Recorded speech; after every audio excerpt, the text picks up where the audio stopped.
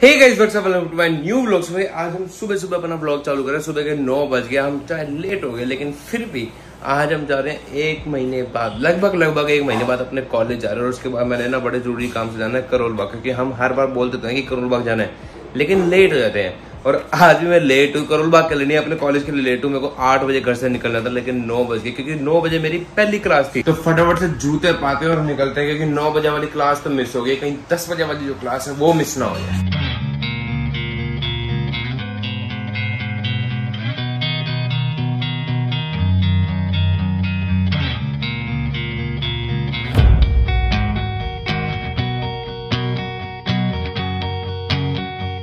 जी, मैं निकल तो चुका हूँ, लेकिन ना एक दिक्कत हो रही है मेरे को गाड़ी चलाने में। हल्की सी दिक्कत ज़्यादा नहीं आ रही, वो छोटी मोटी चलती रहती। है मेरी ये वाली जो उंगली है ना, ये हल्की सी सूज गई। कल भाई वगैरह घर पे आ रखे थे तो मज़े मारते मारते ना गलती से इस उंगली पे लग गई और ये सूज गया। तो इससे थोड़ी सी दिक्कत हो रही है थोड़ा बहुत पेन हो रहा है। बट कोई नहीं, मज़े लेंगे तो भुगतना तो पड़ेगा ही कुछ ना कुछ।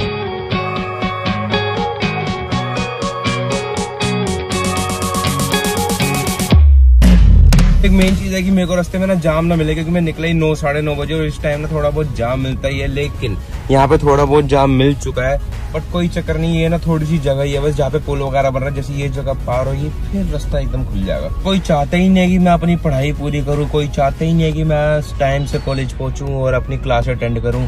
मैं भाई एक जाम से निकला हूँ, दूसरे जाम में फिर फंस गया, यार ये देखो, फिर जाम मिल गया मेरे को। मतलब यार, मेरे अंदर से इतना मन करता ना पढ़ने का, कोई पढ़ने ही नहीं देता मेरे को।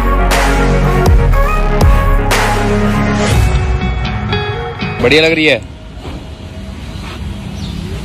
भाई कॉलेज तो मैं पहुँच गया और साइड में जैसे गाड़ी खड़ी गई ना आज तो बच्चे खेल रहे थे तो वो गाड़ी के पास आके गाड़ी को देख लगे कह रहे भैया बड़ी जहर लग रही है आपकी गाड़ी। आ, भाई बस तुमने खुश कर दिया। आज आप फटाफट से चल के क्लास दे देते क्योंकि भाई दस बीस हो गए दस बजे की क्लास थी। अब पता चले मैम फिर एंट्री ना दे अंदर। भाई क्लास हमारी खत्म हो गई और टाइम लगभग एक बज गए हैं और हम अभी जा रहे हैं एक गेड़ी मारने के दोस्त यार बैठे हैं। वो कह रहे कि चला यार गेड़ी मार के गेड़ी मार के ना फिर इनको उतार के मैं घर निकल जाऊँगा। मैंने पहले करोल बाग जाना था बट पापा का फ़ोन आ गया कि तू घर आ जा, हम दोनों इकट्ठे ही चल लेंगे क्योंकि ना मैंने एक और चीज़ लेनी है। तो पापा भी साथ चल लेंगे तो थोड़ी हेल्प हो जाएगी। छोटी गेड़ी मार के हम आ गए। छोटी गेड़ी मार के हम आ गए अब इतने टाइम से ना मैंने कोई गेम वगैरह नहीं खेली थी तो आज हम बास्केटबॉल खेल रहे हैं, यहाँ पे खड़ो के हाँ नहीं दिख रहा मेरी तरफ़ है कैमरा थोड़ी देर खेलते हैं फिर घर निकलते हैं।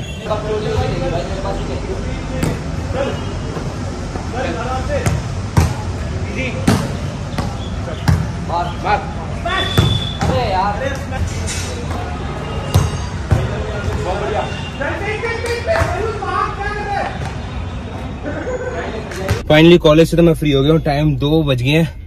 अब फटाफट से घर चलते क्योंकि ना हालत काफ़ी ज़्यादा खराब हो गई है। शक्ल से पता लग रहा होगा कितने ज़्यादा पसीने वगैरह आ गए हैं। एक तो ऊपर से गर्मी इतनी ज़्यादा थी ना। लेकिन कुछ भी कहो भाई, इतने टाइम बाद खेला हूँ आज। जो मज़ा आया ना खेल के आज। एंड, मैं कॉलेज में मज़े मज़े में खेलने लग गया। मैं भूल गया कि मेरी उंगली पहले ही सूजी पड़ी है, इसमें पेन है।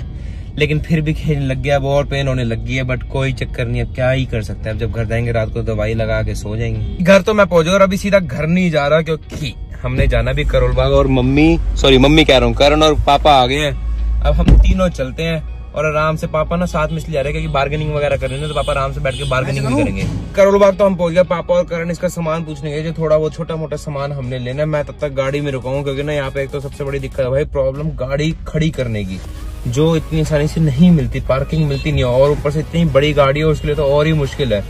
बाकी देखो अभी वो आते फिर अगर कंफर्म हो जाता है कि कहाँ से सारा कुछ सामान लेना है या लगवाना वगैरह है तो भाई आराम से होए कहाँ से सामान वगैरह लेना और लगवाना है तो उसकी दुकान जाके खड़ी कर देंगे। कितने का ये? साढ़े पाँच सौ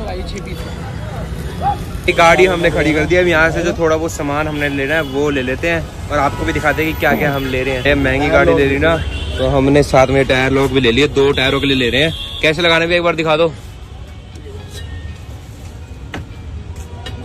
सिखा दो भैया अच्छी तरह। कल से अपनी गाड़ी के लगाने के बाद यही आएगा आपके साथ दूसरी गाड़ी में जब करोल बाग आया नहीं था ना तब मेरे को सारा सारा कुछ याद है कि क्या क्या काम कराना है गाड़ी में। अभी यहाँ पहुँच गया ना तो कुछ याद नहीं आ रहा कि क्या क्या लेना है। एक तो हमने ले लिया इसका टायर लॉक ले लिया और दूसरी चीज़ जो हमने लिया ना इसके सारे जो सनशेड आप देख सकते हो एक ये मतलब तीन ये वाले शीशों का और तीन ये वाले शीशों का।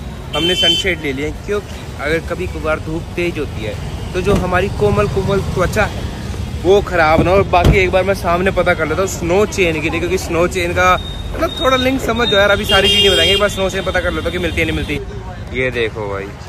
भाई ये चीज़ बढ़िया लेके आया है। दिखाओ यार। पीछे वो है देख के। हाँ। ये ऐसे हो जाएगा। अच्छा।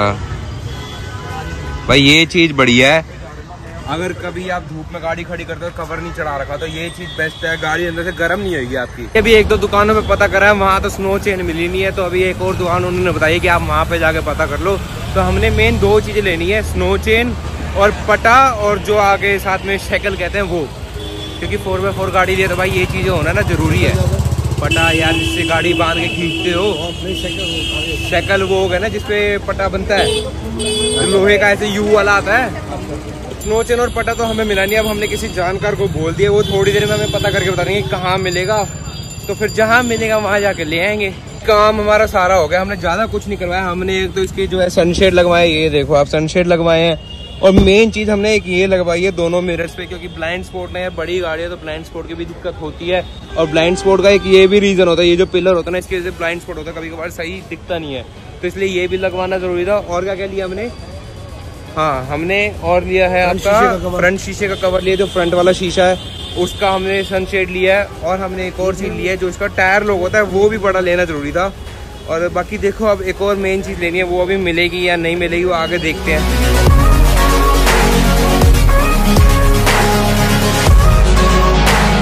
हैं साउंड प्रूफ वाली जो फोम होती है ना, वो लेने, वो क्यों लेनी है? क्योंकि ना मेरे कमरे में आपने अब देखा ऑफ़िस बना जो चेयर है, वो चेयर बार बार जो है, मेरी दीवार पे लगती है ना तो उसकी वजह से जो है, सारा पेंट है, वो उतर जाता है। तो उसको फिर से रीपेंट कराएँगे तो वो पेंट फिर उतर जाएगा। तो इसलिए हम वहाँ पे फोम लगा देंगे। ये दो फोम देखिए, एक ये वाली और एक नीचे, ये नॉर्मल जो आती है, ये वाली। इन दोनों में ना क्या फ़र्क है? ये वाली जो फोम है ना, इस पे अगर कुर्सी वगैरह घुमाएँगे तो कुर्सी इस पे अड़ जाएगी तो ये फट जाएगा। इसलिए ये वाली हमें सही लग रही है और ये मोटी में आती है तो वो मोटी वाली ट्राई करके देख लेते हैं। भाई, हमने ये वाली फॉर्म ली है।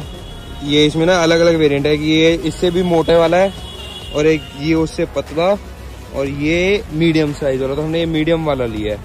जब हमने सामान ले तो लिया मेन दिक्कत ये है कि सामान आएगा कैसे? क्योंकि ये देखो, अभी सिर्फ़ दो ही रखे हैं और अभी हमारे नौ और आने हैं। अब देखो जगह कहाँ है, इतनी जगह तो है नहीं। अब जगह बनती है तो देखते हैं।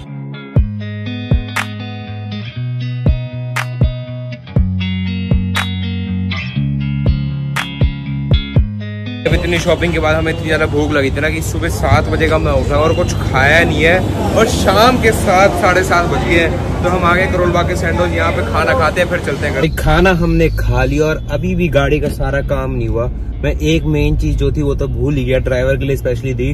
क्योंकि ना मेरे को जो है क्योंकि अभी तक ज़्यादा गाड़ी मैंने चलाई है पापा ने इतनी चलाई नहीं मेरे को जो फील हुआ कि इसकी जो ड्राइवर सीट है ना वो इतनी कंफर्टेबल नहीं है थोड़ी वो कमर में दर्द हो जाती है। तो इसलिए उसका जो कमर सीट की गलती नहीं है तेरे बुढ़ापे आ गया तेरा। कैसे हम भी तो बैठे हैं। मैं ड्राइवर सीट का ड्राइवर मैं सीट तो इक्कीस साल में बुढ़ापा आ गया नहीं यार आप आप पीछे बैठते हो वो साइड बैठते हो ऐसा वो बंदा ना ऐसे टेढ़ा मेढ़ा हो जाता है। ड्राइवर बंदा हो नहीं सकता। ड्राइवर बंदा ऐसे बैठता है भाई एकदम स्ट्रेट ईटीओस में नहीं हुआ इसको आज तक इसमें हो गया जो सही में नहीं हुआ भाई सही में में हुआ ठीक है एक मेन चीज़ हमारा गाड़ी रह गया चलाया कर, तू इधर बैठा। नहीं नहीं गाड़ी किसी और को नहीं मिलनी। इसका मेन चीज़ है एक तो जो कमर वाला जो रेस्ट आता है पिलो वगैरह आता है वो। और बस मेन चीज़ जो है हमारी स्नो चेन एंड पटा। बाई चांस अगर कहीं हमारी गाड़ी फंसती है वैसे हमारी कहीं गाड़ी फंसेगी नहीं क्योंकि महिंद्रा वाले हमारी नहीं बचेगी बेचारे किसी और की किसी और की फंसेगी उसकी निकालने का नहीं क्योंकि महिंद्रा वालों ने क्लेम इस हिसाब से करा है महिंद्रा वालों ने पीछे दिया है पटा ताकि तुम किसी और गाड़ी को टो करो। मतलब पट्टा लगाने के लिए जगह पीछे दी है, आगे दी नहीं है, ताकि तुम किसी और गाड़ी को टो करो। बाकी देखते हैं, फंस गई तो फंस गई भाई। ब्लॉग बढ़िया बन जाएगा और मैं बता देता हूँ, हमारा प्लान कहाँ का बन रहा है? मैंने अभी तक ब्लॉग में बताया नहीं। हमारा प्लान जो बन रहा है, लद्दाख का बन रहा है। बाकी देखो 80 90 परसेंट डन है। 80 90 परसेंट फिफ्टी परसेंट पे कब रहा है, हमें भरोसा नहीं है। वो बस आपको ब्लॉग में पता लग जाएगा। अगर चले गए तो ब्लॉग बन जाएगा, नहीं तो फिर ऐसे रह जाएगा। हाँ जी तो घर में पहुँच गया और भाई इतनी ज़्यादा हालत खराब हो गई ना, सिर मेरा इतनी ज़ोर फट रहा है, क्योंकि नींद आ रही है। सुबह साढ़े छह, सात बजे का उठा हूँ और दस बज गए शाम शाम के क्या रात के दस बज गए तो बाकी आज इस ब्लॉग को करते हैं खत्म। अगर आपको वीडियो पसंद आई है तो वीडियो को लाइक ज़रूर करना, कमेंट करके बताना कि वीडियो कैसे लगे, वीडियो को शेयर करना और दोस्तों को सब्सक्राइब करना। Love you